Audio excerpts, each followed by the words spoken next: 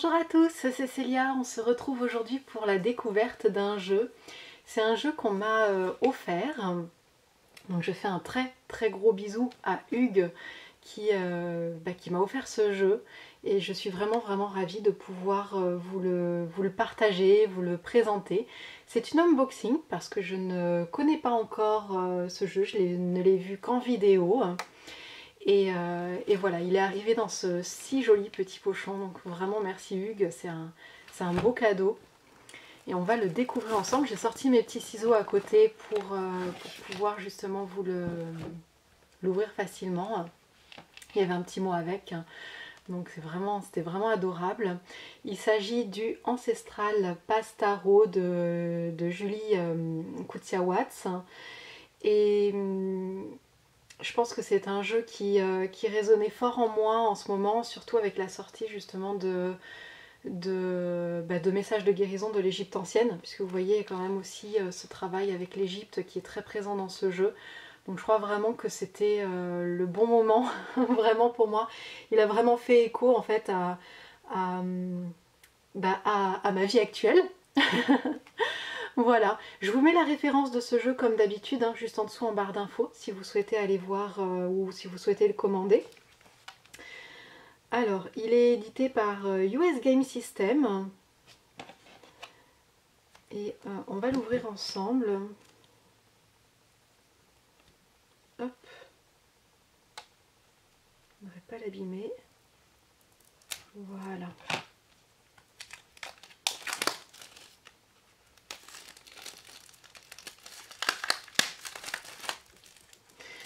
C'est un jeu, vous voyez, qui a une taille un peu particulière.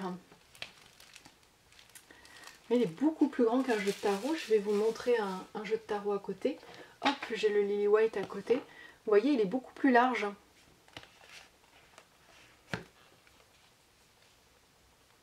Donc le Lily White, c'est vraiment un jeu euh, standard au niveau de la carte. C'est vraiment un, jeu très très standard.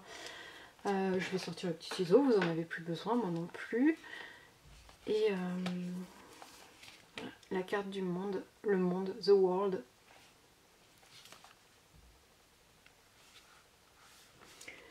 Alors on va découvrir ça ensemble.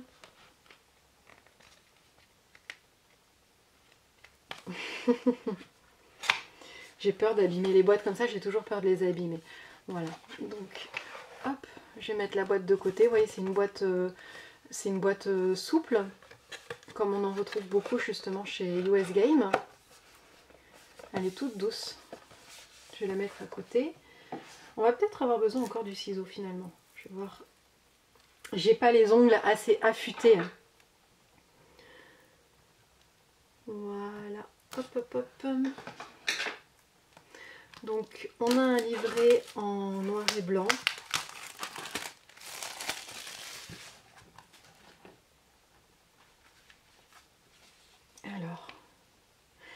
Un texte de Tracy Over. Je croyais qu'en fait euh, le texte et les illustrations étaient faits par Julie. Et en fait non. Je vois que le... Est-ce que c'est mentionné sur la boîte? Non. Oh les coquins, vous savez que je suis pas contente hein, quand ils mettent pas les noms et les des deux auteurs. Bon au moins ils l'ont mis sur le livret bien visible tout en haut. Alors c'est... Est-ce que c'est tout en anglais? Oui. On a la croix celtique qui est présentée à la fin. Euh, et on a un texte de quelques lignes pour chaque carte. Même pour les euh, suites. Et vous voyez, c'est présenté, on présente d'abord les rois, les reines, les princes, les princesses. Donc on a prince et princesse au lieu de cavalier et page. Donc la princesse, euh, c'est le, page. Et le prince, c'est le cavalier. Et vous voyez qu'en fait, ils sont associés à des personnalités. Par exemple, le roi de coupe, c'est Arthur. Euh, Gwenwifar pour la reine. Lancelot pour le prince. Morgana pour euh, la princesse. On a le grand-père pour le roi de, de Sacred Circle, je pense que c'est le, les pentacles. la grand-mère lune pour la reine, euh, le frère soleil, le père soleil et la mère terre pour le prince et la princesse. Waouh, j'adore. Nephthys pour la princesse d'épée, Horus pour le prince, la reine c'est Isis, le roi c'est Osiris.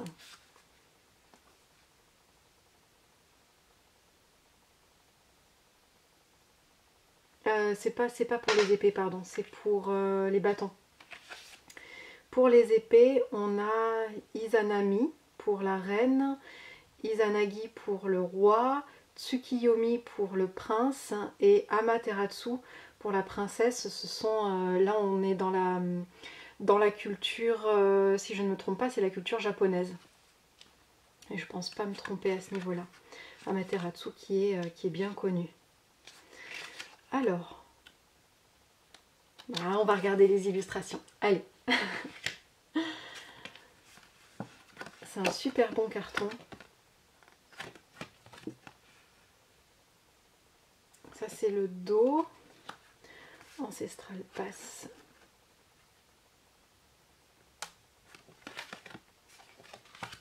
Alors, je vais retirer, je vais vous faire un petit peu de place pour pouvoir vraiment bien le voir. Je vais vous faire un petit zoom aussi. Voilà.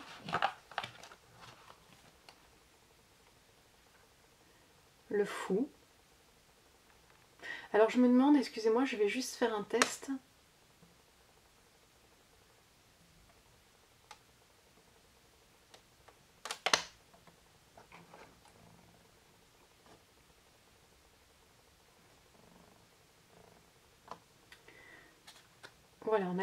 J'ai baissé un petit peu la lumière pour que vous puissiez bien voir. On a le fou. Donc ça c'est le dos des cartes. Je suis un petit peu moins fan du dos des cartes. Le magicien. Wow Il envoie le magicien. Waouh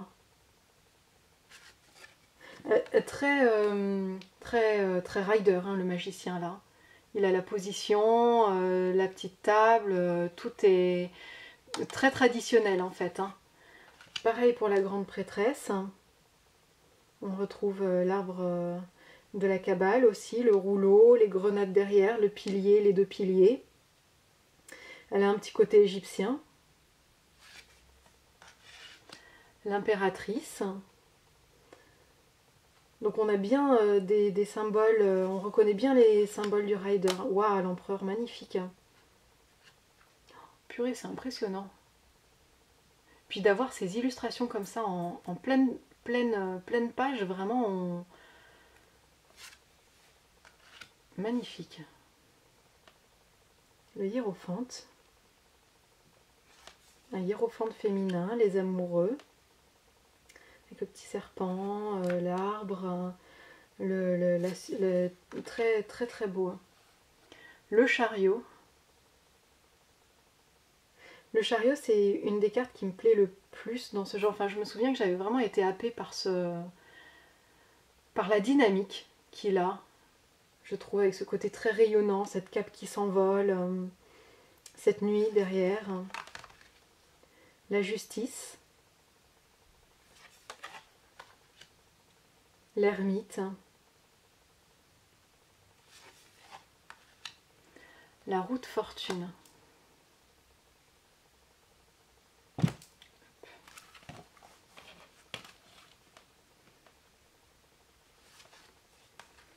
la force.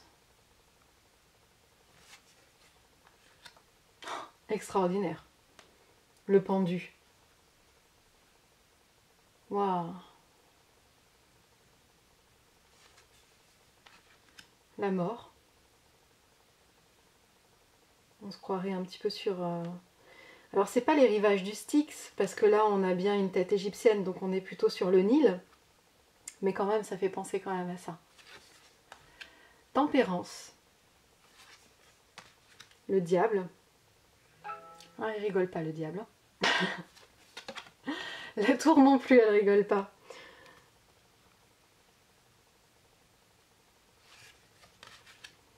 L'étoile, la lune, le soleil, wow, qui irradie. On a deux belles illustrations qui se répondent, je trouve. Jugement, monde, le monde qu'on avait euh, tout à l'heure au dos de la boîte. Et donc on commence par les rois. Le roi d'épée, la reine, waouh, elle est magnifique. Le prince, la princesse, le 10 d'épée, le 9, Donc là, on est dans l'univers euh, japonais. Pour les épées.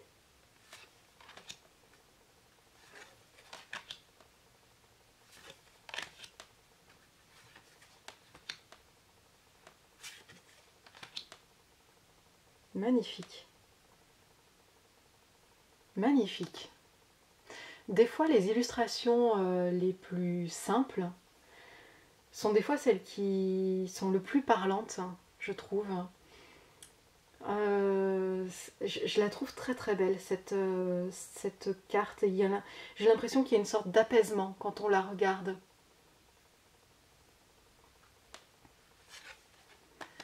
Donc on passe en Égypte avec les bâtons. Ce côté euh, flamboyant, ce côté chaleur justement qui, qui correspond bien au bâton.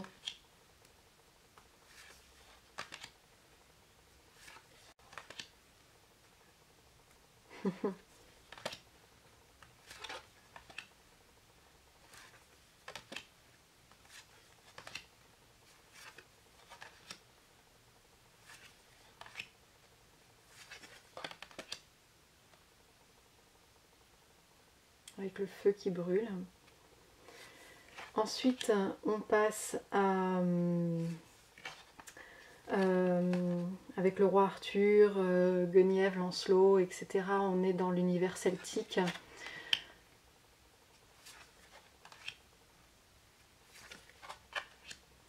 Celtique, un peu moyenâgeux aussi, voilà.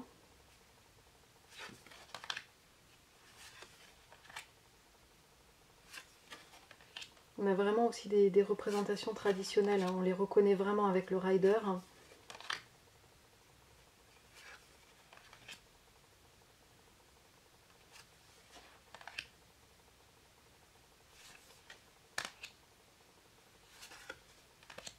qu'est-ce qu'ils sont beaux les as. Je crois que je suis, je suis amoureuse des as de ce jeu. Et là, on navigue dans le monde amérindien. Du coup, la reine, le prince, la princesse qui était euh, la mère terre. Père Soleil, Mère Terre. Donc le 10 du cercle sacré. On est dans les pentacles, on est dans le cercle sacré. L'abondance du 7. Ah, qu'est-ce que c'est joli. Hein. J'adore les, illustrations un peu de paysage comme ça hein, de ce jeu.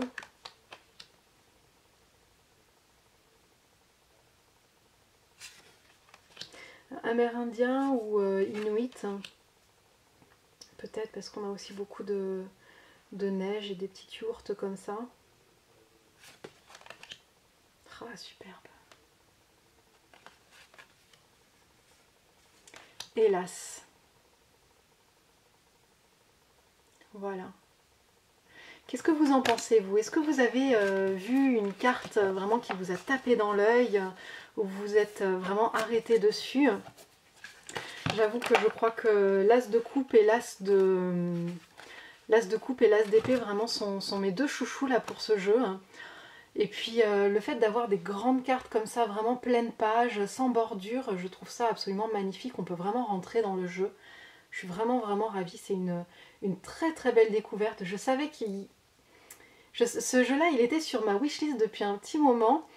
Et puis, euh, comme quoi, le fait de sortir aussi un jeu sur l'Égypte et tout, je pense que c'est vraiment un jeu qui arrive au bon moment dans ma vie et puis ça, je, suis toujours, j'aime beaucoup partager des jeux avec des amis aussi.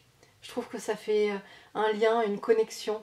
Et, ça me fait tellement plaisir justement de euh, d'avoir ce, ce petit jeu, enfin ce petit jeu.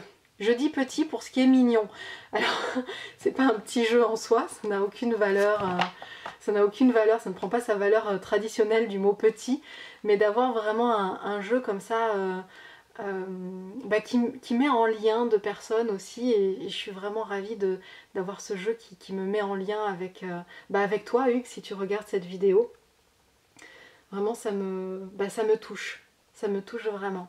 Voilà, donc euh, merci mille fois et puis, et, puis, et puis à tous je vous souhaite une très très belle journée, une belle découverte de ce jeu là. Je vous embrasse tous bien fort et on se retrouve bientôt pour d'autres vidéos. Bye bye